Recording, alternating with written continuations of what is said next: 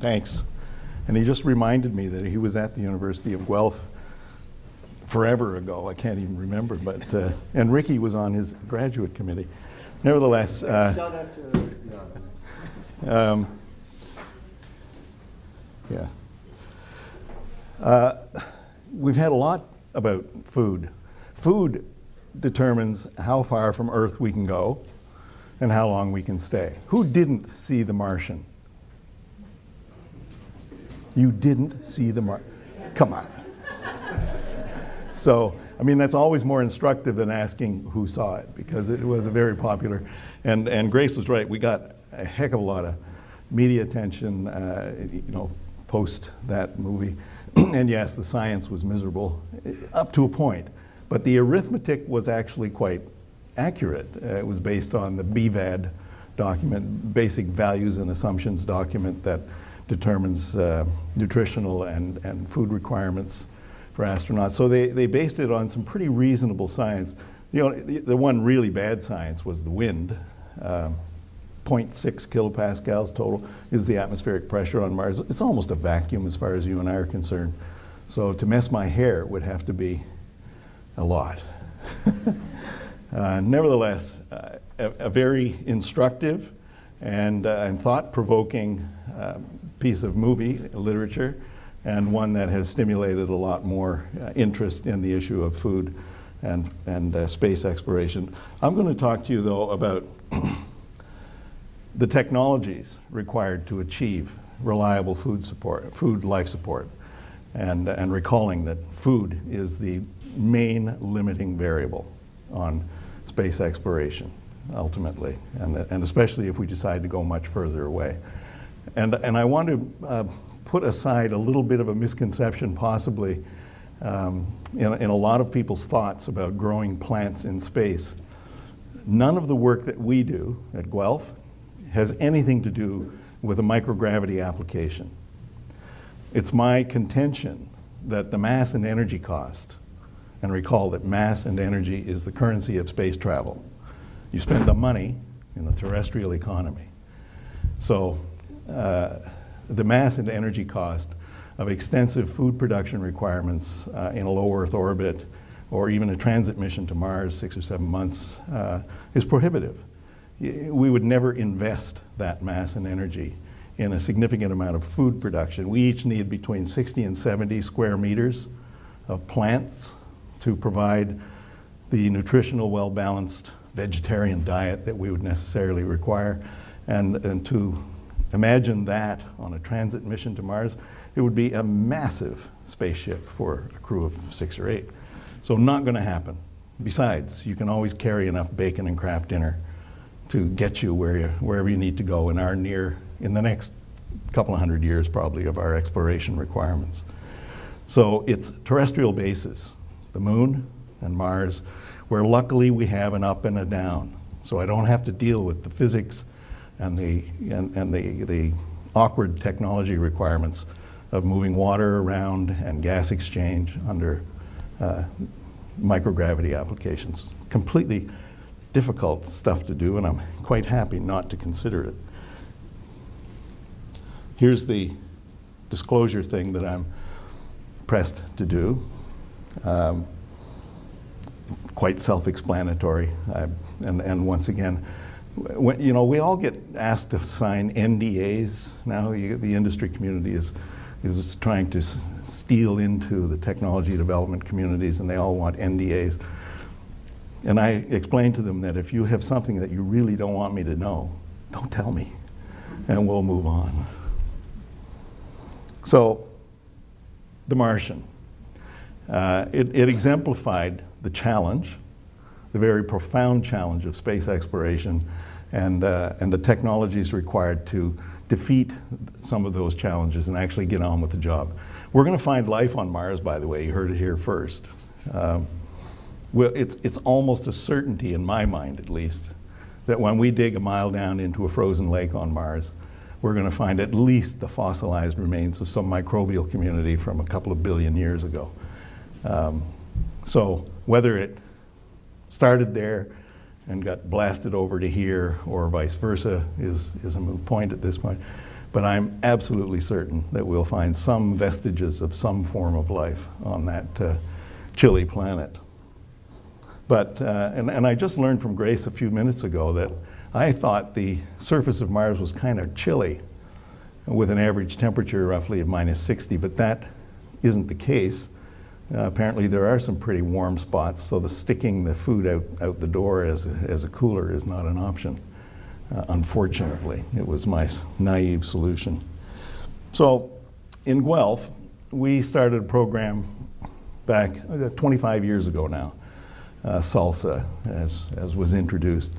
And uh, that's when we had the first project at the University of Guelph with space in the subtitle. And it's since evolved into a rel relatively uh, significant contribution, in Canada at least, to uh, the, the niche field of biological life support in space.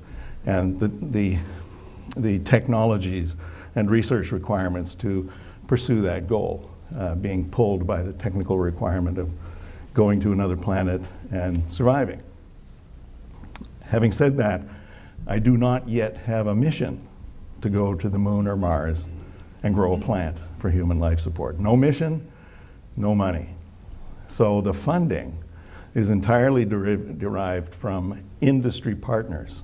We have uh, a large range of industry partnerships across the agri-food and aerospace industry sectors, uh, looking to feed on the leading edge of technologies we develop for the broad range of technologies required to be successful in space. One of the big things to remember is you go to space, you can't throw anything away. There's no such thing as garbage. We must learn how to recycle everything all the carbon, oxygen, water, nitrogen, et cetera, et cetera. We can't do it here on Earth yet, uh, as evidenced by uh, what we call pollution. It's, it's just a word, but it's, uh, it, it, means a, an ecosystem that isn't good for us. So um, we have to learn how to do this. One of the biggest uh, technical holes in controlled environment agriculture today is the, the capability to recycle the hydroponic nutrient solution. And the, the, the deficiency is in the technology to sense reliably and indefinitely uh, the quality of the nutrient solution, the quantities of nitrogen, potassium, phosphorus, and all the minor elements that serve as nutrients for plant growth. Uh, we do not have the technology to reliably do that today. And, uh, and hence, when you're a greenhouse grower and you're recycling your hydroponic nutrients uh, every few weeks or so, it, it gets out of balance because the plants don't eat exactly what you feed them. And so you get an imbalance or a pH modification. And the solution is, well, you throw it out. Throw it out and start again. You can't do that on the moon and Mars. You must learn how to reliably and indefinitely recycle water. Um, it, it's key. It, it is almost too critical to, to over, ex, overstress. So here's what you need to do in space. And I, there's not going to be a quiz, well, a little one. Uh, but uh, here's the mass and energy. They're the two top, top of the list. Mass and energy is the currency of space travel. You, talk, you heard a lot about trying to reduce the amount of food to reduce the mass cost of that component of, of a space mission. And, and that's why when we go to Mars and resupply becomes really difficult, not impossible, but really difficult and costly in mass and energy, then we absolutely must develop the bioregenerative, self-sustaining uh, food production system. It's, it's not a, a, question of whether it's a, you know, a, a, useful or good thing to do. It's an absolute necessity for life support. And, and you see down here, this list, this is called farming. Light, quality, and quantity, carbon dioxide, temperature, humidity, nutrients, and water. Farming is seeking to homogenize those environment variables as best you can to uh, make plant growth as reliable and, and uh, productive as possible for, for life support. So that, th this shouldn't be a, surprise to anybody, uh, but putting it into that technical context outlines for you the challenge that we have uh, in controlled environment agriculture, developing the technologies and doing the research that then transfers to, in our case, terrestrial agri-food because that's our, those are our customers today. As I said, I don't have a mission yet, um, but I will. And uh, in the meantime, we service our um, training opportunities for grad students and, uh, and, and, technology developments with industry partners who seek to take the commercial advantage, commercialization opportunities out of the, the toys that we develop in, their, in this regard. So here's where we started actually in 1995, these very first controlled environment chambers. And what I learned very quickly was the limitations in having two samples. When you're trying to do research and replicate stuff to the uh, satisfaction of a journal editor, uh, and you're growing soybeans that take 110 days for one experiment, uh, the limitations of, of two boxes to do your research in is quite dramatically limiting. So we've since learned that, and we now have dozens of the darn things. And uh, this is the one we built for the European Space Agency in our research collaboration with ESA's life support program called MELISSA. As a, you got to have an acronym. And typically in the space program, the acronym comes first, right? And then you sort of squeeze in there words that kind of sound like what you do. And uh, hence SALSA. Uh, we had a contest among grad students for that one. Melissa is, wait for it, Microecological Life Support System Alternative. Uh, we are the higher plant compartment, the food and atmosphere regenerative element of the Melissa Loop, and this is in Barcelona, Spain. Uh, and we have a long-standing research relationship with the folks in Barcelona at UAB. Uh, here, here's the chamber, or one of five chambers, that determined the engineering specifications for a greenhouse on the moon and Mars. It's a hypobaric chamber, it's capable of withholding a vacuum. It has one and a half square meters of plant growing area. It weighs eight tons. Uh, so if you do the math, remember I said you need about 60 to 70 square meters each for your life support requirements to grow enough food. Uh, eight tons doesn't work for you. Hence, the, the, uh, put, we put quite a bit of effort, and about 15 years ago published uh, the results that plants can handle down to one-tenth of Earth's atmospheric pressure um, without too much problem at all, being just as productive pro providing food, scrubbing CO2, delivering oxygen, recycling fresh water, making you feel good.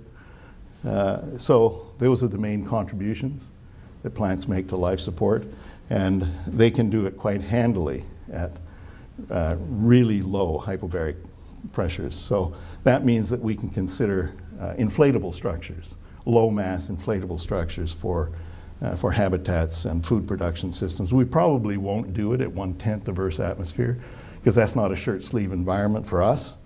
And we want to be horticultural mission specialists after all.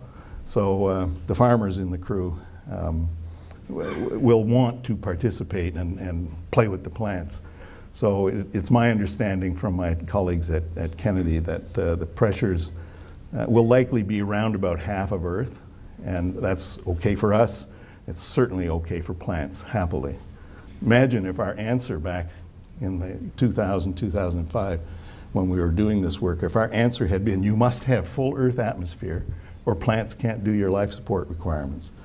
We're almost done. I mean, that, that's such a serious speed bump in human space exploration technology requirements that uh, it, it, would almost kill it, a lot of it. Uh, we've done a lot more chambers. I'll get into a couple of them here in a second. Here's, a, here's an array of nine hypobaric chambers that we used for short-term experiments, a lot of replication, uh, and also developing uh, some rather neat LED lighting uh, systems. So custom high intensity LED. This critter here can put out five times the intensity of the sun uh, within a one meter range, which is a ridiculous. Uh, it's, not a, it's not even a research tool, but of course, boys with toys. When we built this thing in collaboration with some Norwegian and Canadian investigators, we had to see what it looked like. so it was, it was sitting on the bench, it was an evening, turned all the lights out, and, and fired this thing up full blast. And, and we all had welder's goggles on. Um, it, it was quite remarkable. The thing almost recoiled. It put out such a, you know, it, it lit up this entire uh, research facility where all our chambers were. So uh, we've lost our welder's goggles. So we have not been able to demonstrate that uh, again ever since, which is probably okay. It, it only ended up being that powerful because I needed each monochromatic element, and there's 10 different colors here, from ultraviolet to far red. Each monochromatic component of the spectrum had to have enough intensity, you know, up to at least half the intensity of the sun uh, to, to give me an experimental tool that I could use reliably. And wh when you jam them all together and hit the go button, it's quite remarkable. So we also drift around on the Earth. We're, we're developing technologies for harsh environments in space, um, but as I said, no mission yet. So the, the tech transfer is to harsh environments here on Earth. And here we are in the Arctic, uh, on, on Devon Island, the high Arctic, um, in collaboration with NASA and the Canadian Space Agency and a number of other institutions. And uh, for 11 years, we operated this greenhouse until just recently, actually. And uh, the, the objective there was not to really test, you know, miserably cold and bleak and, and harsh environments. It was to test remote control and automation. So communications were the main thing. And uh, the first year or so, it took us four years to grow the first head of lettuce uh, in this greenhouse. Four years. And one of the major communication it, issues we had was the, uh, the satellite that we used for communication was a geosynchronous satellite settled you know, over the sort of high population density of northeastern North America.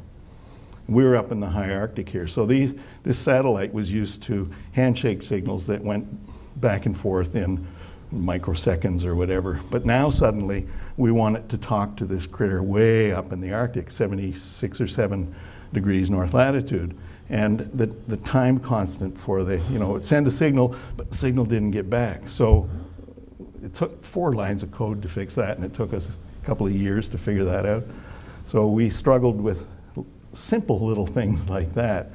And those are precisely the kind of technical lessons that you have to learn if you're going to try and do this on the moon, for example, where we'll test drive a lot of this stuff and break it because the moon's three days away and not six or seven months away, and, and uh, resupply and or maintenance and repairs are a little more conceivable in uh, lunar applications. So we'll, we've also done it in the Antarctic. This is currently underway. This is the Eden ISS project.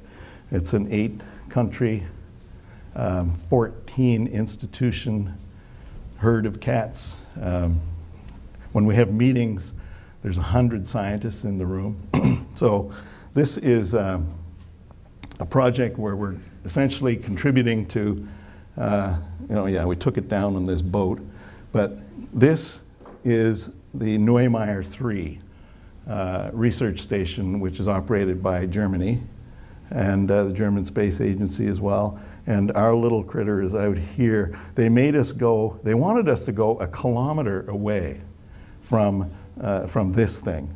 Um, we finally, they lamented finally and allowed us to go only half a kilometer away. And the reason was that our little, our, our little thing here was going to disturb the snow deposition patterns around the legs of the Neumayer 3 station and confound their predictions of how long it would be before it buried itself in snow. Um, so half a kilometer was the, but what it meant was that uh, this guy, oh, there's the food, but I, this guy, Paul, who we left down there for a year, he's just come back, um, he, he would have to, I mean, and you can imagine in the night on, in the Antarctic, you have to travel that half a kilometer in the snow to get back to your bed. And so there was a safety line that he had to clip himself to because if it happened to be snowing or really dark or really miserable, uh, you had to be careful. So safety was a profound issue, and that's how we talked them into letting us go only a half a kilometer away. Uh, but this is an example of the food that he would produce in that thing. And this was supplementing the diet then of the Neumayer 3 crew, um, this, the scientists that would be there you know, for eight, ten months at a time.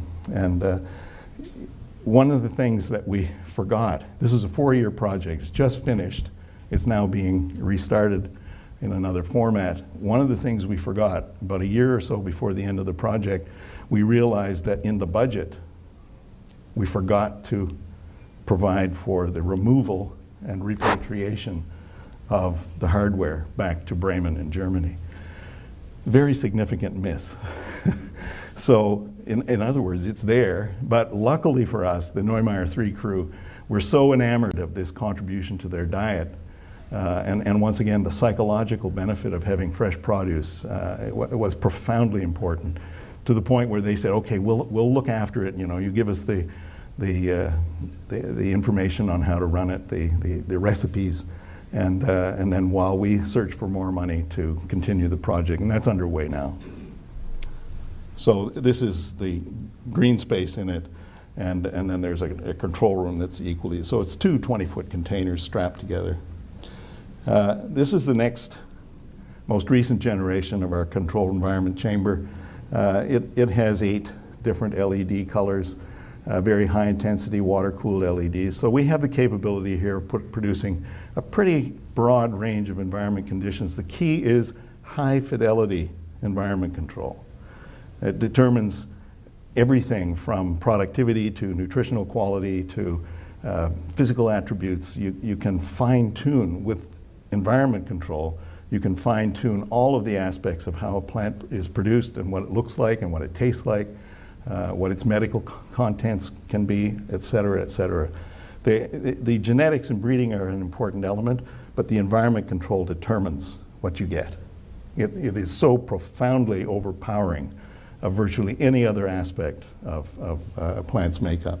So this tool gives us the, the, the power to manipulate these environment variables with extremely high fidelity and simultaneously measure the plant's physiological response in terms of photosynthetic gas exchange, respiration, transpiration.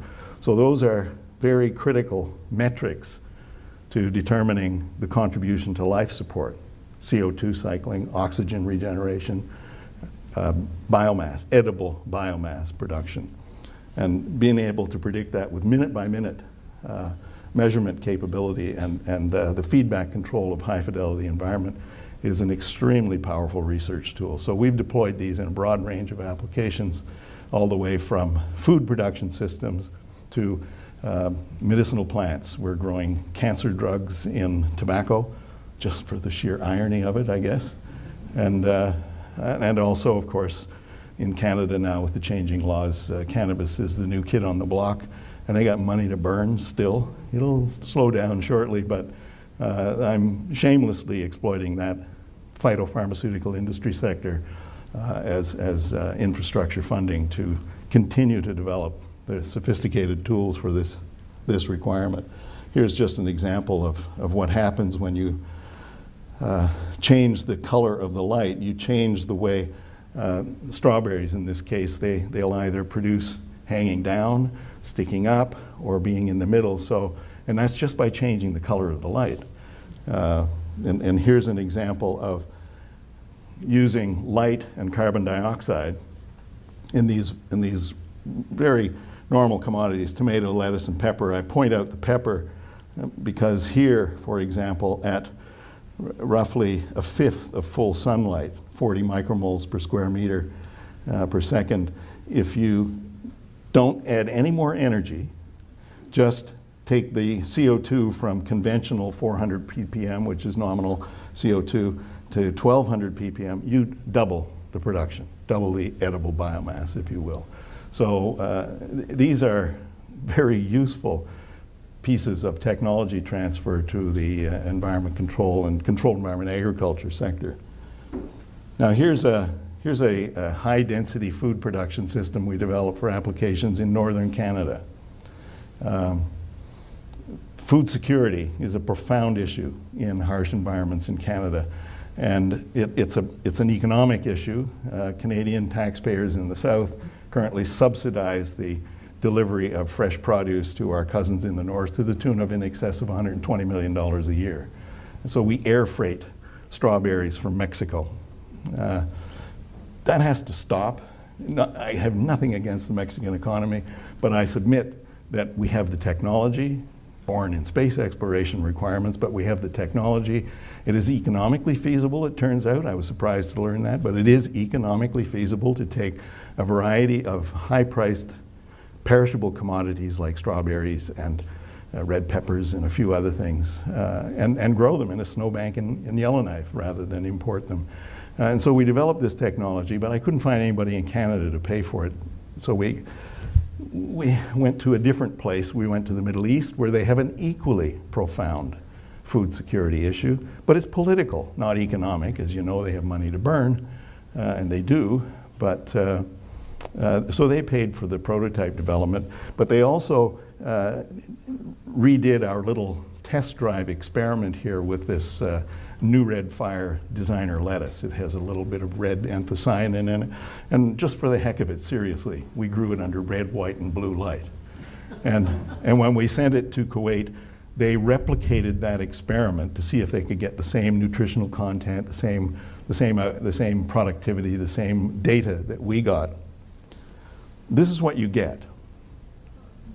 These are genetically not identical, they're not clones, but they're F6, F7, uh, um, you know, varieties. So, so these are genetically the same.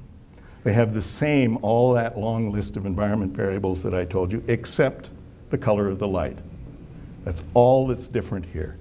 This one under red light is twice the dry biomass of, especially this one, and almost twice the dry biomass of the, the one under the white light. And as you can see, there's some profound differences in, in uh, anthocyanin expression. And, like, and of course, grad students being what they are, they did a blind taste test, and there's a dozen grad students in the lab, and they sat there and with 100% reliability said, ah, that's the blue one, that's the white one, that's the red one. So there's a, a taste, a very you know, significant taste difference. There's a color difference. Uh, color and taste are secondary metabolites, as are the uh, cancer drugs, the proteins for cancer drugs that we're developing, as are the cannabinoids in cannabis, THC, CBD. These are secondary metabolites. So I have a tool to quite precisely play with the secondary metabolite content of these plants, and more particularly, especially with phytopharmaceutical plants, standardize the profile of medical compounds, which achieve, allows those plants to achieve the lofty status of a conventional pharmaceutical commodity, which they aren't today. Now, this is a quick uh, video of the, a pilot scale demonstration of this. Uh, so this is coming down to uh, practical applications now of these technologies. This is a, a, a, little cartoon, but this actually exists. I'll show you the picture in a second. And what happens here is th this is a bit of a gradient. Uh, this is the top of the hill and this is the bottom of the hill. And we're looking at, say, romaine lettuce, so that the time from the top of the hill to the bottom is eight weeks. And then uh, the robotic uh, lift takes the mature product out here, and then it goes off uh, on a conveyor to, uh, to be packaged up in the big boy bags, and off you go. And then at the other end, the, uh, the seedlings get loaded. And depending on the commodity, you could have a different commodity on each level. This is a seven level system. You could have different times, different commodities, different environment conditions within reason uh, on these different levels and produce a wide range of, in this case, uh, um, microgreens or herbs or, or uh, food crops. Uh, here it is in actual operation in Toronto in a warehouse, in an industrial warehouse in Toronto. And uh, they, this, uh, this little company that is collaborating with us on using and deploying this pilot of our system um, is called We the Roots, and they have sold everything they can possibly grow, regardless of what it is, for the next two and a half years to local restaurants, high-end, you know, celebrity chefs and that sort of, uh, this is what it looks like. I'm going to quickly go through. And this is the scale that it's aimed for. Two of these projects are currently under construction, one in St. Catharines, Ontario, and one in New Jersey. Um, they'll be operational probably early next year. But consider the scale here. I mean, were trying to replace a field in Salinas, California for lettuce production. And one of the big costs, obviously, is the energy. Um, but one of the big benefits is the food safety. Uh, you, can, you can much more reliably ensure food safety in the system like this than you can in a field in Salinas. And I think I'm going to run right to the end here. You've seen a variation of this take-home message today from, uh, from uh, our speakers already. That basically, the, the, the, as I've said, the technologies that we require to go to space and survive are precisely those that we are almost legislating ourselves into here on Earth, especially in agricultural jurisdictions. Recycling, recycling water, not fouling the earth with nitrate fertilizers and pesticide residues. We can do it. We have the technology. Uh, we don't yet quite have the political will, but it's coming. So, uh, and, and we'll use that pull of space exploration as, as, a, as an economic engine in the agri-food sector. That's, that's how this whole thing must work. And uh, eventually it'll probably make life better for all of us. Thanks.